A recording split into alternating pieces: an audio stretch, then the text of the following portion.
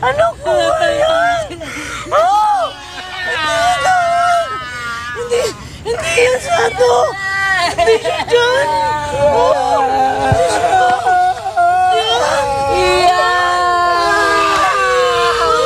Wala na marahil na masasakit pa sa isang magulang na makitang wala ng buhay ang kanyang anak. Pasado alas dos sa madaling araw kanina, nang lumutang sa Tolyahan River ang bangkay ni Jillian Salud, sampung taong gulang. Ang ama ng bata napahawak na lang sa kamay ni Jillian. Inabot ng halos 34 na oras bago makita ng mga rescuer ang bangkay ni Jillian. Hapon ng linggo nang maglaro sa tabing ilog si Jillian, kasama ang magkapatid na Kirby 10 taong gulang at Reniel Tejadilla 13 taong gulang.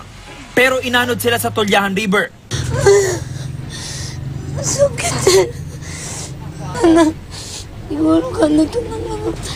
Tanggap na lang po. Tanggapin. Kasi yan siya nga eh. Siya yun na.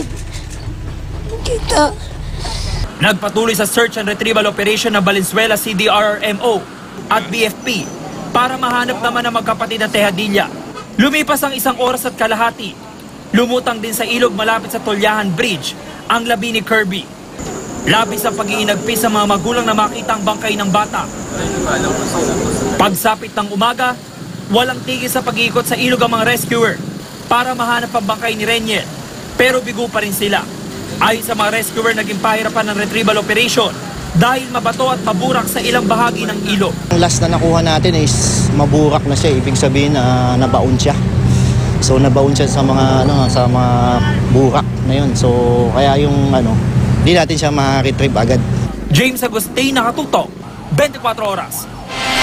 Nitong pasado alas 4 naman ng hapon nang makita ng search and retrieval team ang labi ni Reniel Tejadilla, ang ikatlong binatilyong kasama ng dalawang batang naanod sa Tulyahan River.